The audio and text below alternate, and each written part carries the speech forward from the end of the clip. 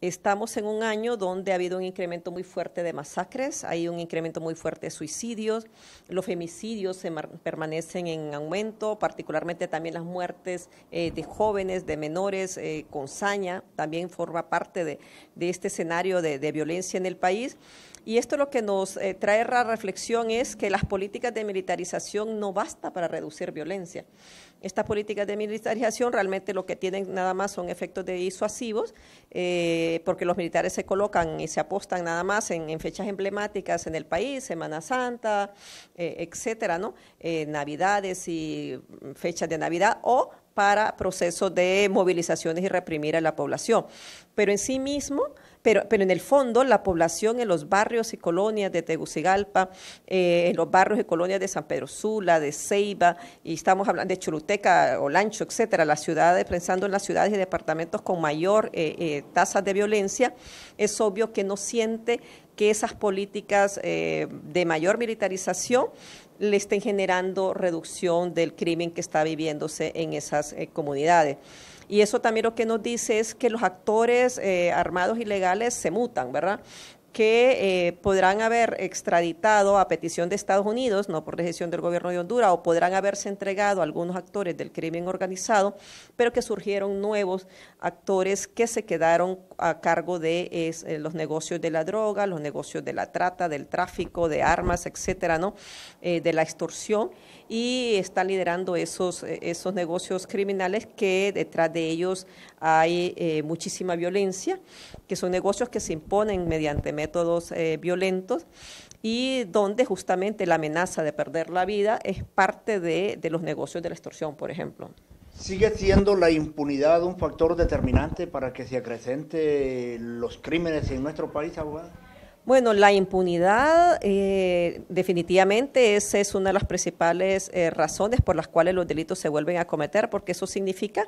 que eh, las personas que han asesinado, que han eh, cometido graves delitos, eh, siguen en la calle y que se sienten alentadas para seguir cometiendo esos crímenes porque saben que no van a llegar a ellos pero también la impunidad significa la falta de operadores de justicia eficientes para resolver estos casos.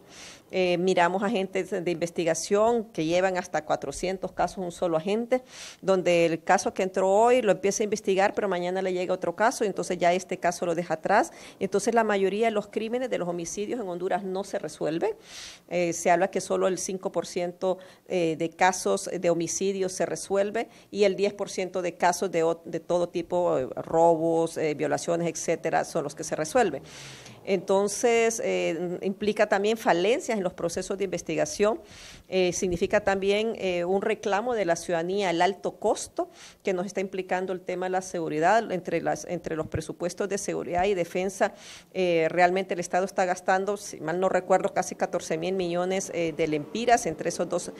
presupuestos, y estamos hablando de que esos presupuestos engrosan el, el Producto Interno Bruto del país, y al mismo tiempo súmele todo lo que gastan los hospitales por ejemplo, en atender emergencias, eh, más los costos de la seguridad privada, etcétera. No. La violencia nos está generando altos costos, el Estado ha invertido escandalosas sumas, sumas que ni siquiera eh, rinde cuentas, como por ejemplo el tazón de seguridad, más de mil millones al año sobre los que no se rinde cuenta, que incluso entendemos que ya se ha sobregirado, el tazón está prestado sobre lo que vamos a pagar los hondureños, estamos embargados de lo que vamos a pagar en los siguientes años.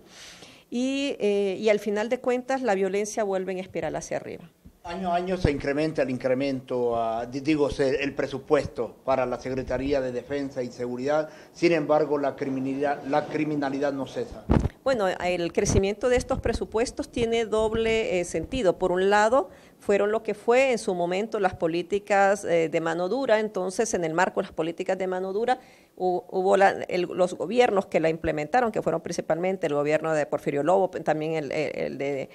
el del expresidente Maduro, y, eh, y luego en, los últimos eh, gobiernos eh, del señor Hernández le ha apostado a aumentar los presupuestos en materia de defensa y seguridad pero también el incremento de estos presupuestos tiene también propósitos políticos y eso es bastante claro en el, acontecer hondureño, el garantizar también adhesiones de los militares particularmente y control de las fuerzas en el país para asegurar un continuismo también presidencial.